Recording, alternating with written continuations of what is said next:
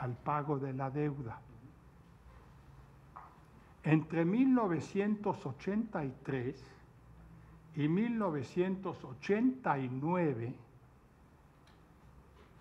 seis puntos del Producto Interno Bruto, hay diferencias de cálculos, pero todos más o menos coinciden con eso, se dedicó a pagar cabal y puntualmente la deuda externa.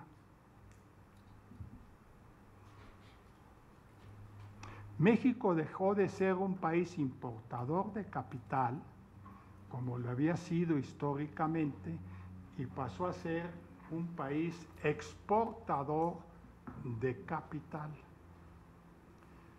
al orden de seis puntos porcentuales del PIB. Esta decisión de una enorme trascendencia no la toca el ensayo.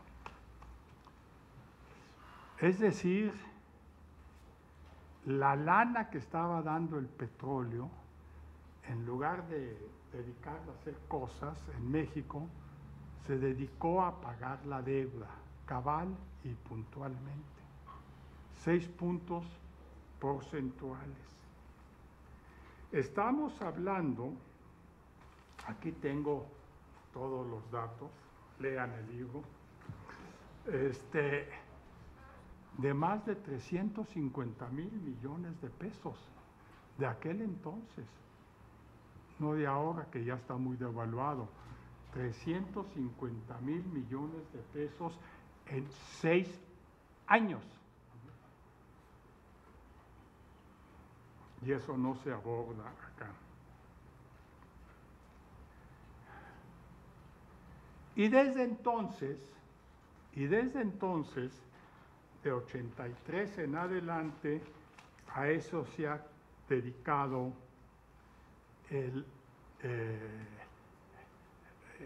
eh, el excedente petrolero.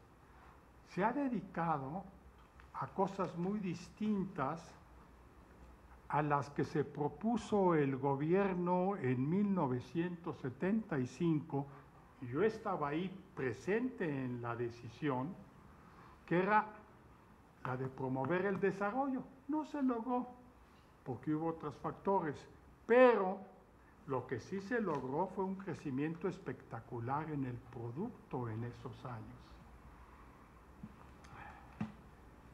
Todo esto, que es parte esencial de, eh, ya voy a terminar que es parte esencial de eh, la economía política, de las finanzas públicas y de la, este, la economía política del Estado rentista, no se explica y no se aborda en esto. ¿Por qué esto sucedió? Yo tengo mi explicación, que no es el caso, pero lo que sí es el caso es que debe haber una explicación de estas tres cosas de estos tres momentos, 1960 y pico de Ortiz Mena, eh, eh, en primer lugar, después este, eh, este 75, 76 y la decisión de meternos a fondo en petróleo y después en 83 usar el petróleo para pagar la deuda. Son cosas esenciales, porque de paso amolaron a Pemex, de paso. Entonces, esto es importante.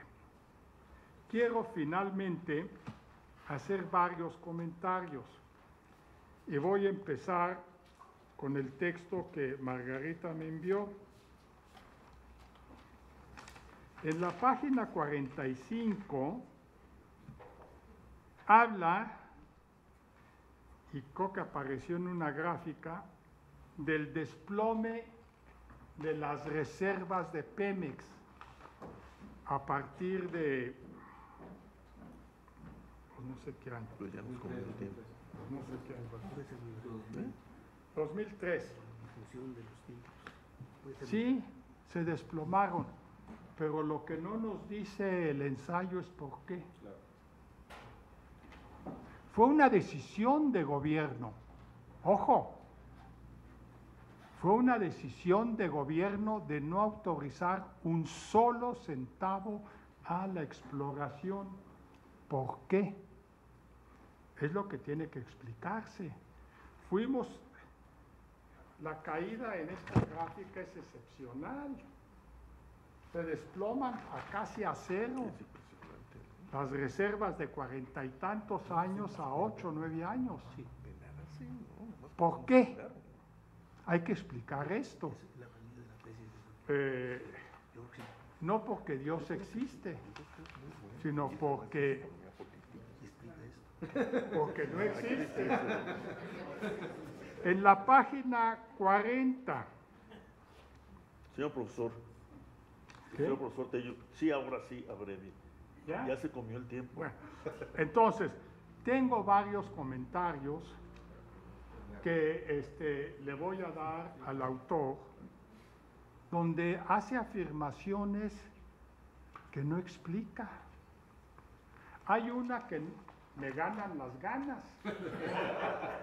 que tiene que ver con el exceso de gasto público sobre el presupuesto autorizado. Y se asombra el exceso de gasto público sobre lo autorizado es mínimo frente a lo que existió en otras épocas, sobre todo en las épocas de desarrollo estabilizador, donde el exceso de gasto público sobre eh, autorizado por el Congreso y ejercido por el gobierno era 150% mayor durante 12 años. Y lo que ahora está pasando son minucias. No estoy diciendo que esté bien, pero son minucias frente a otras épocas. En fin, yo le paso al autor mis críticas, que puedo que pueden ser útiles, si no, pues, pues las rompes y ya. No, hombre. No, ni de lejos, ni de lejos. Gracias. No, gracias.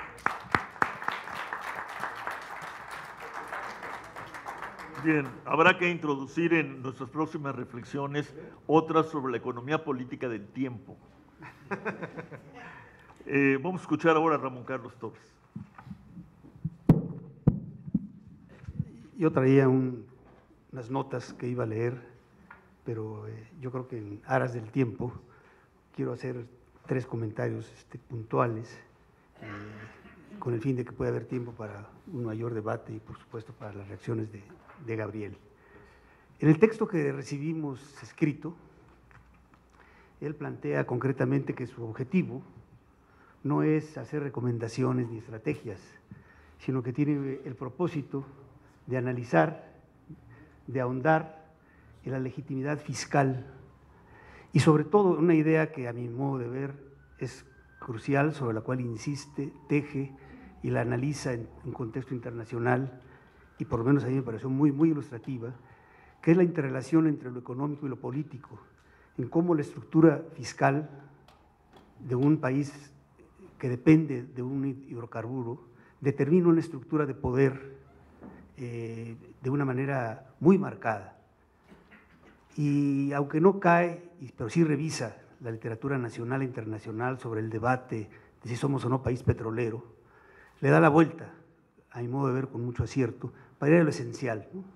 ¿Cuál es la relación entre la estructura fiscal y la estructura de poder? Y mis comentarios van, ir, van en el sentido de ser un usuario del análisis que él hace, más que de entrar al análisis.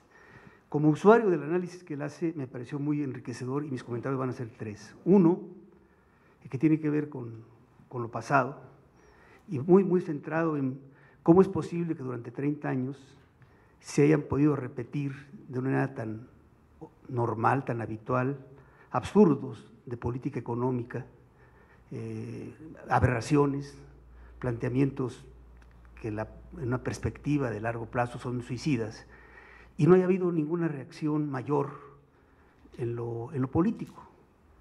Es decir, esa, esta pregunta que yo en algún momento me he hecho, eh, encontré varios elementos muy valiosos en el escrito que nos hizo favor de hacernos llegar Gabriel con anticipación y en otros que había, que, vi que tenía eh, sobre este tema, ¿no? Eh, porque efectivamente el cambio estructural, el deterioro estructural que se dio durante 30 años es muy elemental.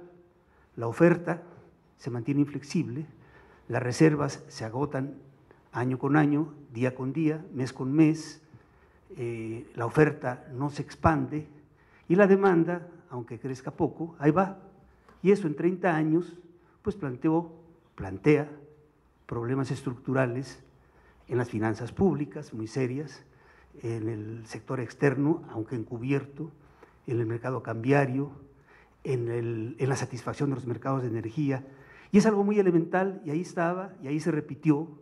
Y, por supuesto hubo voces que llamaron la atención sobre esto y no falta quien haya sido muy crítico, pero ahí estuvo. ¿Por qué? Pues porque eh, efectivamente hay una estructura de poder basada en esa autonomía fiscal, como, la, como se refiere a ella Gabriel, una autonomía fiscal que permitió que el gobierno en turno, autoritario, ya de antes autoritario, tomara características especiales. Eso no está en su escrito, pero da elementos, por lo menos me dio elementos como usuario de ese análisis, para entender que no es lo mismo el gobierno autoritario en, sus en su actuar, eh, eh, en lo económico, a partir de los ochenta y tantos, al gobierno autoritario priista de antes de esa época. Ese será otro, otro tema, pero, pero sí permite identificar que esa autonomía fiscal y política permitió al gobierno hacer y deshacer con muy poca respuesta en lo político. Eh, y yo creo que ahí hay elementos que, que a mi modo de ver son eh, muy, muy importantes. Eh, por supuesto que yo difiero de algunos puntos, de algunas interpretaciones que hace Gabriel, por ejemplo, sobre el boom petrolero. yo creo que si uno quiere entender por qué las reservas fueron tan importantes, por qué este país tuvo una riqueza petrolera tan brutal por allá de los 80 y por qué se deterioró. Si queremos entenderlo, es muy sencillo, hay que entender lo que pasó en Cantarel. Es decir, como hay muy poca literatura, muy poco análisis en lo que es y muy poco interés por entender lo que ha sido nuestra riqueza petrolera, pues eh, Cantarel dice poco, dice desde, desde un elemento de burla a nivel de gobierno sobre que Cantarel era un pescador, ¿verdad? Este, pero, pero ahí está la, esencia de entender cómo un pozo petrolero de gran dimensión determinó la producción, las reservas, el agotamiento y lo que está pasando ahora. Si uno entiende lo que pasó en Cantarell, entiende la evolución de las reservas y de la producción petrolera del país. Pero todo esto sucedió como algo normal, no, no se crece la oferta, y yo creo que ahí para entender por qué sucedió esto hay que ir a la estructura de poder que determinó esa autonomía fiscal eh, del gobierno. Lo segundo, el segundo comentario, que a mi modo de ver me, fue muy valioso de la lectura de los documentos de Gabriel, es la apatía actual, tiene que ver con lo anterior, que hay frente a lo que está sucediendo en materia petrolera, en materia fiscal. Es decir, lo que está sucediendo en las reservas. La Comisión Nacional de Hidrocarburos da a conocer en un boletín de seis páginas de PowerPoint un dictamen sobre la situación de las reservas petroleras uno que otro periódico consiguió la noticia. Y la noticia es, en un país, en un país, es decir, es realmente como para haber simbrado al país. Lo que dio a conocer, por cierto, con la parte anecdótica, eh, eso lo, lo, publicó, lo hizo como comisionado de la Comisión Nacional de Hidrocarburos Edgar Rangel días antes de su muerte, como si fuera testamento, entre un documento que se puede conocer, de seis páginas, de PowerPoint, en donde dice que en dos años este país perdió el veintitantos por ciento de su valor de las reservas probadas de hidrocarburos. no solamente no repuso más que el 18 por ciento con descubrimientos de lo que se consumió, sino que además el valor de las reservas petroleras calculadas con protocolos de, de negocios internacionales deterioraron su valor. Y esto que hay de reservas, eh, si no hay más descubrimientos, y si no hay otra disminución en el valor de estas, de estas reservas, va a servir para que durante ocho años se pueda seguir produciendo un nivel de producción como el actual. entre paréntesis, el día de hoy, el director de Pemex anuncia que el próximo año va a tener que bajarse lo que había dicho hace unos días que se iba a producir, que era 2.2 y ahora va a ser 2.1. O sea, la, amenaza latente de que eso se viene para abajo, ahí está y se puede ver por todos lados. es ir para ocho años. ¿Qué quiere decir? Que en cuatro años ya no se exporta, si es que no hay nuevos descubrimientos. Y los cuatro años que siguen, eh, apenas se va a poder ir importando paulatinamente para poder hacer operar las refinerías, si es que se decide que sigan operando. O sea, la situación es realmente, eh, por lo menos, de provocar alguna reacción. Por el lado de seguridad energética, es decir, la, dependencia de las importaciones de gasolinas y de diésel que se gas natural que se está resolviendo a una velocidad impresionante a base de hacer negocios de, importación, pues se va a resolver de alguna manera, eh, parcialmente, pero el problema es muy grave desde el punto de vista serio de seguridad energética. Lo que pasa en las finanzas públicas, es decir, de, una estructura fiscal en donde 30, eh, más de 30% de los ingresos del gobierno federal dependían del sector petrolero, ahora eh, esto cayó a más o menos como la mitad de ese 30, 30 y tantos por ciento, lo cual hay que, hay que ver que ahí está sucediendo otro fenómeno que solamente se puede entender con la autonomía política fiscal a que se refiere Gabriel. Es decir, eh, de repente los IEPS pasan a ser a partir de 2013 eh, considerados en las finanzas públicas como un impuesto y no como un ingreso petrolero. ¿Por qué razón? Porque resulta que esos IEPS que parcialmente han sustituido la baja de la renta o de los derechos del petróleo, pues son, son nada menos que más de la mitad de los derechos por hidrocarburos que se obtuvieron en 2015. Es decir, hay un fenómeno estructural, fiscal, de una enorme importancia, en donde nuestras finanzas públicas, por la puerta de atrás, hubo una reforma fiscal, nada más que regresiva. Y, esto va a tener consecuencias muy graves en las elaboraciones de los próximos presupuestos y en todo lo que es lo que desencadena esta lucha política. Y en esto, Gabriel, me parece que es muy atinado en, en insistir. Una cosa es cobrar impuestos, en donde al cobrar impuestos hay una parte entre comillas, perjudicada o afectada y por tanto está en el mercado y por tanto el gobierno tiene que o, actuar de una manera coercitiva o persuasiva o manipuladora, pero tiene que actuar. De una renta petrolera, sea o no el término correcto, eh, pero de un hidrocarburo, que es un bien de todos, colectivo. Entonces, eh, eh, yo creo que esta estructura fiscal que ha cambiado, ha cambiado por esta parte que, yo no lo había visto tan claramente como lo veo ahora después de esta lectura. El apalancamiento, es decir, Pemex está endeudado eh, en más de, sus activos. Es el patrimonio negativo de Pemex es patético y es 1.3, lo voy a decir como, como me gusta decirlo para que vean la magnitud de esto, 1.3 eh, por 10 a la 12 millones de, este, pesos y es a, la 12, o sea, 1.3 millones de millones de pesos. Esa es la deuda, esa es, la deuda que no está amparada con activos. Y eso ha sido por qué? Porque de alguna manera, como bien lo explica Gabriel, ha habido una, en países como el nuestro, hay un apalancamiento abierto o velado que da el hidrocarburo en el subsuelo, las reservas. Luego el otro elemento, no quiero alargarme, que es patético en cuanto a apatía, ¿no? La reforma energética lo que plantea es, si se, quiere, si se le quiere ver de manera no ideológica, no política, sino con raciocinio elemental, el objetivo número uno que está en la reforma energética, y yo creo que eso es indiscutible, el objetivo número uno es retornar, volver a ser de este país un país que dependa de los ingresos petroleros. Pero el absurdo es que las reservas por lo menos las reservas que pueden ser utilizadas en el corto plazo y quizás en el mediano plazo, se están agotando. Y lo que puede descubrirse, lo que está por descubrirse, lo que no son reservas, lo que son recursos prospectivos o lo que son los pozos abandonados, todo eso es con lo que se está jugando como apuesta a la reforma energética, en donde el exterior dice, pues no quiero invertir, primero porque aquí hay un riesgo y de entrada hay valores del precio del petróleo que me tienen que permitir pues entrar a, asumir estos, estos, eh, estos costos.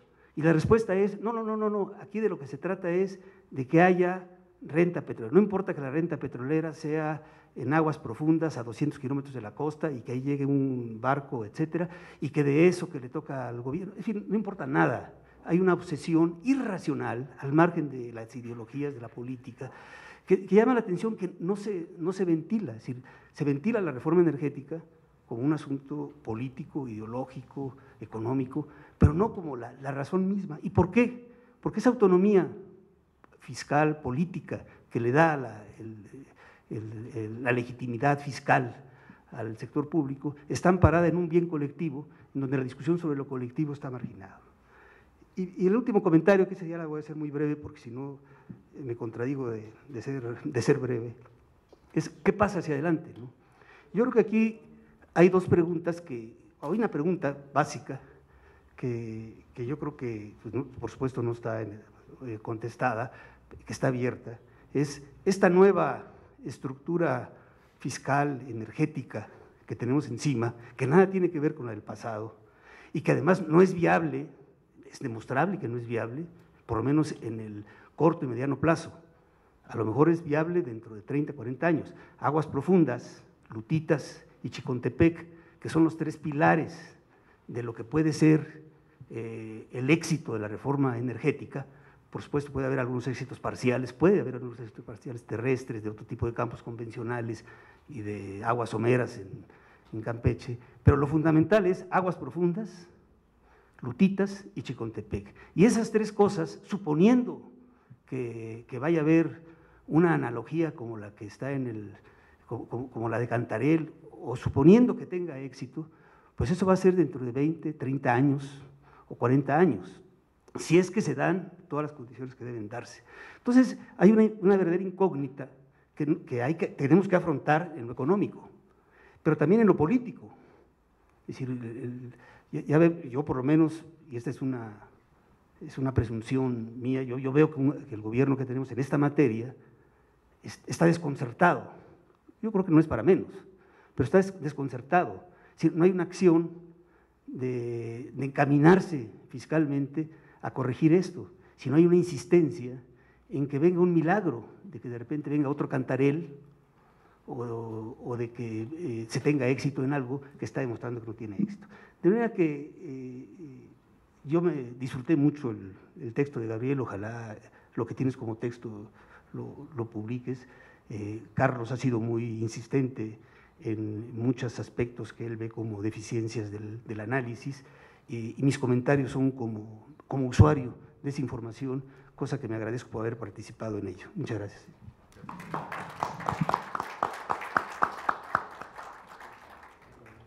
Pues tenemos, eh, tenemos muy poco tiempo libre antes de darle la, la palabra a Gabriel para que este, diga lo que quiera decir este, al respecto de esta reunión. No sé si haya alguien que quiera Sí, eh, doctor Novelo y embajador Navarrete.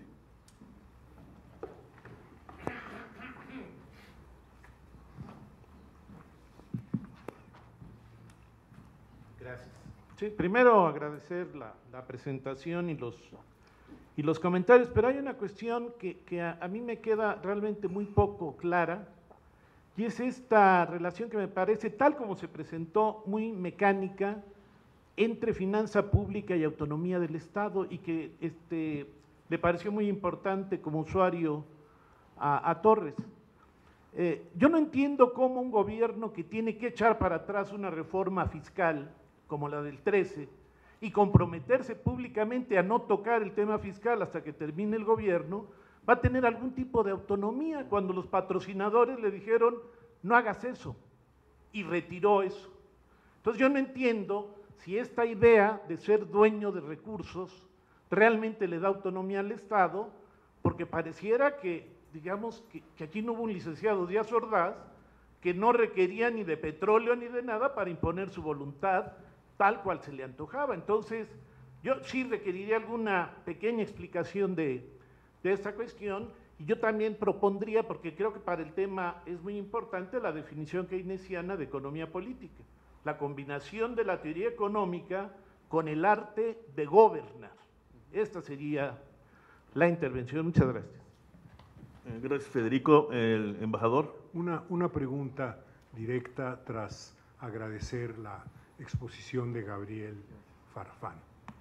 Eh, yo solo conozco la exposición que hemos oído esta tarde.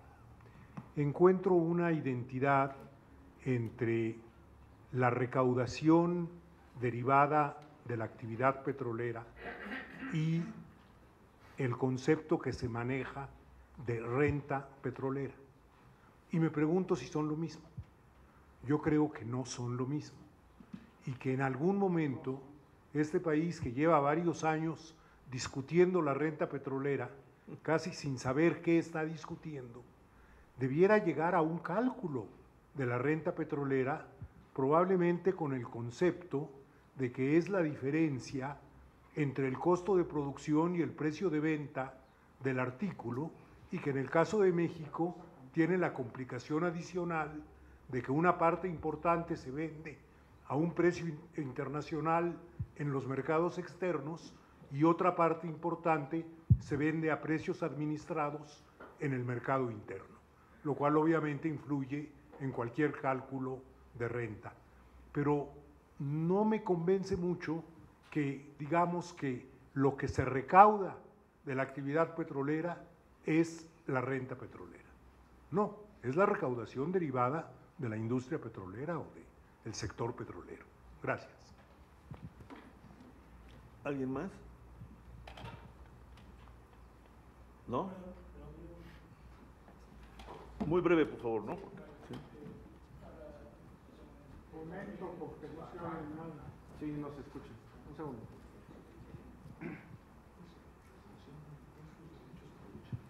Sí, nada más. Eh, eh, eh, Demetrio Rojas. Eh, yo quisiera preguntar en su análisis eh, si en lugar de considerar al Estado rentista, precisamente para incluir un aspecto de carácter eh, de economía política, es que también en México pues hay varios factores. Uno de ellos es que hay un deporte nacional que es no pagar impuestos. Y por otro lado, relacionado con esto, es que, que efectivamente México tiene una de las tasas de recaudación más bajas en toda América Latina y pues yo diría que en el mundo, ¿no? Entonces aquí de lo que se trata es de evitar una verdadera reforma fiscal y valiéndose de los ingresos petroleros, entonces el gobierno federal eh, no aplica pues realmente una verdadera política fiscal, que es lo que hace falta. ¿No considera usted que es lo que hace falta en México realmente una verdadera reforma fiscal en, donde los ricos pues, sean los que paguen los, los, impuestos. Muy bien, pues entonces este, vamos a escuchar a, Gabriel. Bueno, muy rápido. Micrófono. Sí, no, aquí. Gracias. Bueno, primero que nada, muchísimas gracias al maestro Carlos Tello y desde luego al maestro Ramón Torres por sus eh, comentarios. La verdad es que yo estoy de acuerdo en todo lo que han dicho prácticamente. Y la única justificación, quizás por muchos temas que no se pudieron abordar, fue que de manera deliberada hice este escrito, este documento, estrictamente para el día de hoy. O sea, no hay ninguna idea o ninguna copy-paste, no hay bases de datos ni gráficas que haya utilizado en otros lados. Eh, hay dos o tres referencias a una tesis doctoral que publicó la London School of Economics y que está publicada en Internet, de manera pública la pueden localizar, no hay eh, la pueden bajar incluso. Pero en realidad eh, la idea era en dos, bueno, dos meses o eh, desde que se confirmaron la, invitación, algo así, dedicarme a hacer un documento que, que pudiera englobar todo lo que yo les quería decir. Desde luego que hay ausencias notables. la única justificación es simplemente pues es un tema estrictamente eh, que está en trabajo, en desarrollo. La idea es que sea un libro. Quizás es demasiado ambicioso este tema, tanto para mí como para el tema, pero yo creo que hace falta un libro o por lo menos una, una, publicación de este nivel. Voy a hacer comentarios muy rápidos sobre lo que se ha dicho porque vale la pena eh, precisar y por además respeto de los, de los que comentaron y los que hicieron las preguntas, lo mínimo de mi parte es hacer una, respuesta eh, directa, ¿no? En efecto, yo estoy de acuerdo en que el tema de hidrocarburos la presencia de los hidrocarburos en las finanzas públicas eh, por lo menos tiene un siglo, por lo menos. México ha vivido tres bonanzas petroleras. en la época de Obregón, como bien se señaló, eh, Carranza Obregón fue la primera bonanza petrolera, producto de precios y de un atractivo que desde luego no, tenía, no tiene hoy, pero tenía entonces el petróleo. La segunda, digamos, bonanza fue de alrededor de 76, 77 hasta 85, 86, a distintos análisis, básicamente bonanza en donde hay precios muy altos de petróleo por distintos factores. Y la última bonanza, la tercera, en un siglo que es la que acabamos de, vivir y que ya terminó. Eh, la del 2003 al 2013, yo la ubico el fin de la, tercera bonanza en julio, junio de 2014, cuando se empiezan a desplomar los precios eh, del petróleo, y realmente sí ha habido una recuperación reciente, pero es muy, muy poco. Entonces, sí, sí hay una perspectiva histórica que no está incluida en el ensayo y que debe de ser incluida. Y creo que las fechas de las que habla eh, el maestro Tello son fundamentales con una ligera variación.